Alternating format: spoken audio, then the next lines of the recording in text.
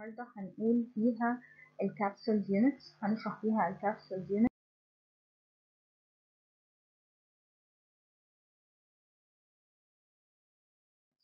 المحاضرة اللي فاتت أخدنا ال prefab واتكلمنا على ال panel وال frame وال boxes وقلنا إن هما ممكن يبقوا small و medium و large sizing واتكلمنا إن هما ممكن يبقوا dependent أو independent. واتكلمنا على في ال box units على طرق الرص المختلفة. النهاردة هنتكلم على ال capsule units وازاي هي وحدات موديولية متوافقة. دي ممكن تتعلق سواء ب clip on أو plug in لل core بتاعنا. وده الحقيقة كانت تطور لأفكار ال Archigram فإحنا هنقول إن أول إن كيشو كوروكاوا يعتبر المعماري الياباني هو إحدى أعضاء مجموعة ال Metabolism وهي مجموعة رائدة في استخدام الوحدات الكبسولية وتكنولوجيا التصنيع أو ال prefab. ابتدوا يستخدموا الوحدات الكبسولية من الخرسانة بدل استخدامها من الهياكل اللي هي ال steel frame welded وابتدوا يطوروا فيها وابتدوا يبدأوا يعملوا designs مختلفة ويوصلوا ل approach مختلفة لتحقيق أهدافهم في التشكيل. دي بعض الأمثلة المختلفة معانا عن ال buildings أو ال towers اللي اتعملت بنظام ال capsule unit وإزاي هي attached ل core واحد وبعدين بنبدأ نعمل لها attach attaching أو wiring أو plug in على ال core بتاعنا. النهاردة هنتكلم بشكل مستفيض أكتر على برج ناكاجين. okay؟ هو لكيشو المعماري موجود في طوكيو في اليابان هو سكني فندقي.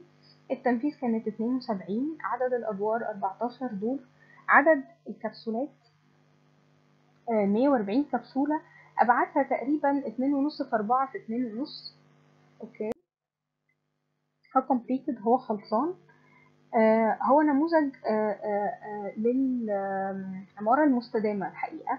لأن هو ممكن يحصل إعادة تدوير أو استبدال وحدة كبسولية when needed يعني لو إحنا محتاجين إن إحنا للتصنيع والنقل. الوحدات كلها اتصنعت في مصنع في مقاطعة شيجا وتم نقلها للموقع بواسطة trucks زي ما إحنا شايفين كده. كل كبسولة ليها نافذة دائرية أو rounded window كل كبسولة جاية فيها ال furnitures بتاعتها جاهزة مصممة جاية وحدة كاملة متكاملة فيها كل حاجة سواء كانت kitchen أو سرير أو ساعة أو تلفزيون جت تتجمع وتتثبت together okay ويحصل لها plug in في الآخر في ال core الخرسانة بتاعها. شايفين؟ ادي ده ال core بتاعنا. أوكي أدي الخرسانة وبعدين الوحدات ابتدت تتركب آه عليه. تم تجميع الكبسولات وتثبيتها بزوايا. آه صلب في الأربع اتجاهات. آه الكبسولة عبارة عن هيكل معدني من عوارض. و...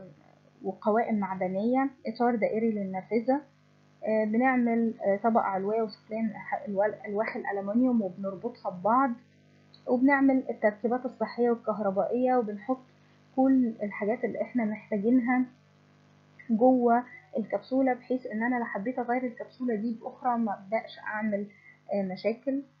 زي ما إحنا شايفين هنا الكور الخرسانة ده مبني بالتراديشنال وبعد كده متثبت فيه الوحدات.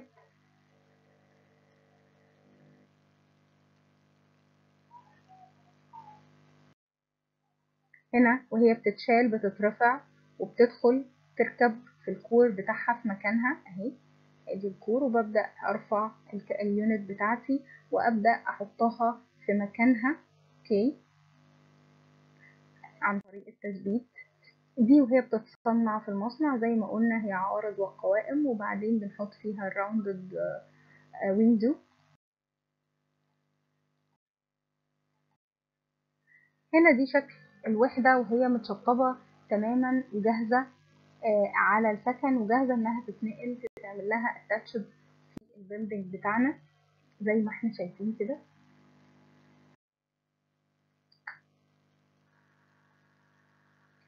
Later on بقى إحنا هنشوف إيه؟ لما نيجي إن شاء الله نتكلم في dynamic building هنلاقي إن المبنى اللي إحنا بنتكلم عليه هو مبنى برضو dynamic وبيبدأوا يستخدموا فيه الوحدات ال capsule ال capsule unit منتشرة جدا لكن إحنا ما عندناش مثلا مبنى في مصر بال capsule unit لكن المطارات ابتدت تعمل إيه؟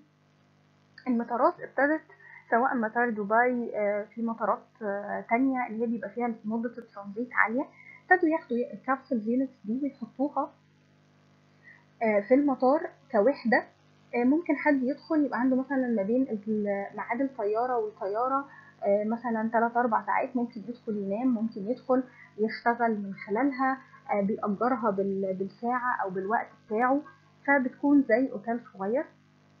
ابتدت في اليابان وفي الصين ابتدت يبقى فيه مجموعة عريضة من الفنادق اللي هي عبارة عن capsules أنت بتدخل الأوضة بتاعتك جاهزة كل حاجة عبارة برضو عن sliding يا إما درج. هو عبارة عن مكان فيه كل احتياجاتك.